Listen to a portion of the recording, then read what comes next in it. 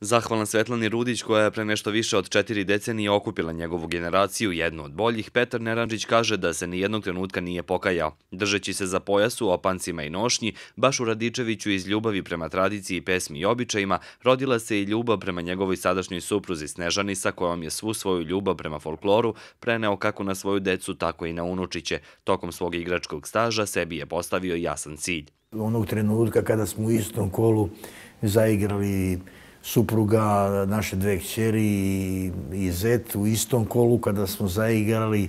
Na tom koncertu sam ja verovatno bio najsrećniji čovjek na, na, na, na svetu i svima onima koji e, se bave ovim čime sam se ja bavio ove prethodne četiri decenije, želim od sveg srca da dožive e, jednu, jednu takvu lepu priču, jer mislim da je to nešto što, što, što ne može se objasniti, to treba doživeti, to treba osetiti. Puno je e, truda u sve to uloženo i kažem, to je bila neka moja kruna igračka.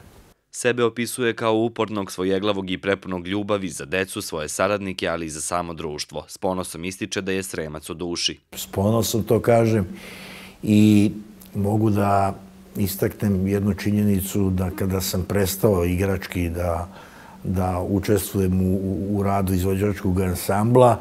E, bio sam funkcioner društva, bio sam sekretar društva i sve svoje snage sam usmerio ka tome da e, po prvi put Radičević postavi e, igre iz Srema i to smo uspeli. Čak smo i koncert zvali po, po toj koreografiji Ide Božić, ide Blagi dani.